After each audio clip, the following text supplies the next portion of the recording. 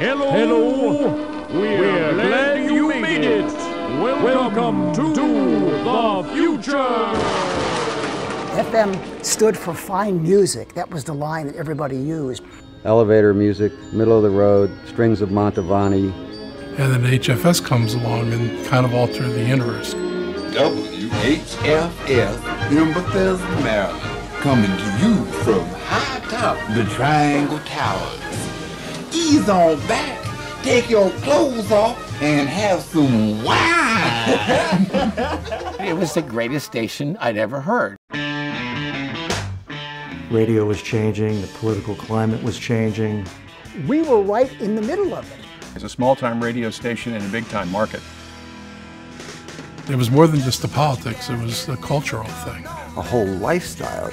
Dope smoking hippies and acid trips. And we couldn't wait to get home and put our ears on that radio and, and find out where the next thing that was off the radar of, of established America.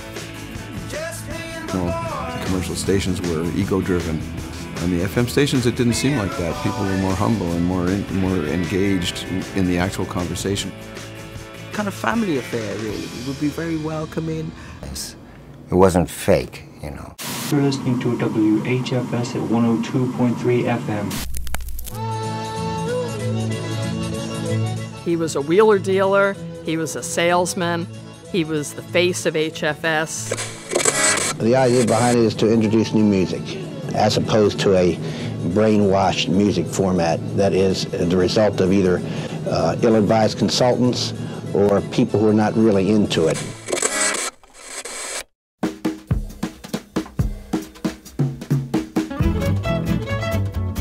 We never played anything that wasn't of our own choosing. You know, there were, there were no rules. It was very improvisational and freewheeling. You could hear a Bonnie Raitt tune followed by a Joni Mitchell cut to a Jimi Hendrix cut. And then you go to some, you know, wipeout.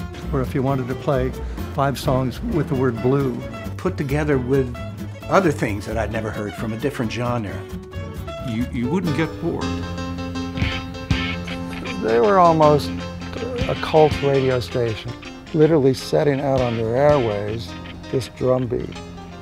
HFS, of course, was like outstanding. You know, they were like top of the heap.